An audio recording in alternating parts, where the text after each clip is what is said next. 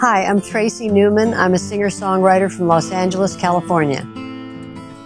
I'm here in Nashville recording my second CD. I recorded my first one here. It's called A Place in the Sun, and I like the players so much that I'm back here uh, with the My Record label crew, and we're doing it again. About three years ago, I went to a Waffle House here in Nashville.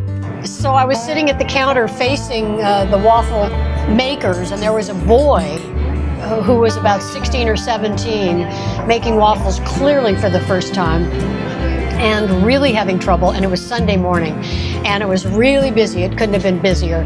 And there were kids crying, and there were people waiting, and all these egg plates were right next to him, and he couldn't make the waffle because this was his first time. You know, I, I don't want to tell the whole story of the song because I want you to hear it. But, uh, and of course, I've embellished on it, but, but, but essentially what I'm saying in the song is true in terms of the father-son relationship. Just listen to this song. The boy who mends